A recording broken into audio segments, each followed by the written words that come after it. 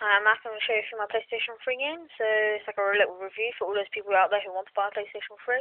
And I'll say not games to get, and like if you should get them or not, and how cheap they are if you live in England, because I'm not from America, sorry. Right, first game I'll show you is Ratchet and Clank Tools Destruction. Picked up very, very cheap, £10 from Blockbuster. All my games are from Blockbuster.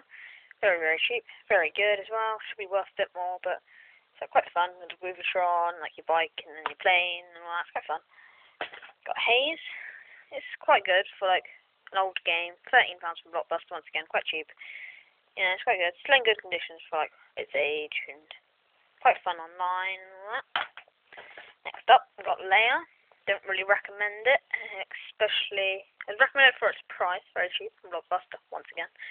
Um, don't re really recommend it though. Not that fun, quite boring, not that playable. Battlefield Bad Company, really good game. I paid eighteen pounds for it, but not got a label on it. It's very fun, good online, campaign's good, completely see a reason to buy it. You can have quite a few people online. It's really good. Um, next up, Fallout 3. Scary game for anyone who bought who's under 18. Um, quite cheap though, 18 pounds.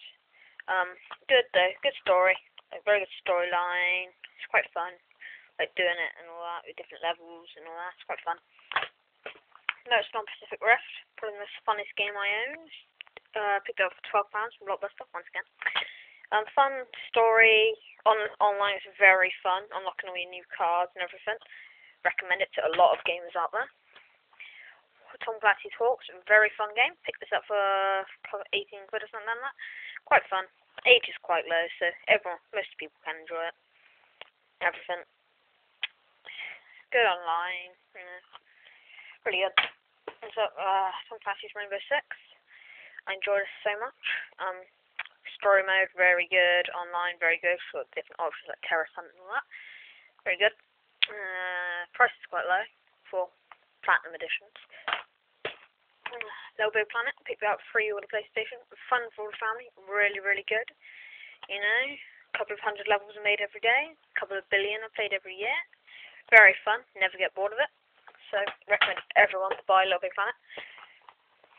Wheelman, don't really recommend it too much, but it's quite fun. Driving around, shooting people, and jumping other people's cars. Quite fun.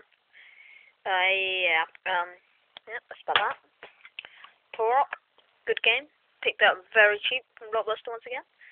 Um, uh, I don't like online that much. Story doesn't really kind of catch me. It's kind of good though in all other areas. Shoot, shooting and all that. Graphics, kind of good like little short cinematics and, and that. Next up, Army of Two. Good cinematics. Very cheap from Blockbuster. That's like 9 quid now because I bought it a few months ago. Um, age, bit of a bummer. Um, it's quite good. Waiting for number 2 to come out though. 40th day. It's good though. Recommend number 1 before you buy number 2. Very good game. You should enjoy it. Mercenaries 2 World in Flames about £13, 2 for 20 quid, once again, from Blockbuster. Very cheap, very good game, great story mode, great online. And then once you complete a game, if you haven't unlocked everything, go back, do the game again, unlock everything, quite fun.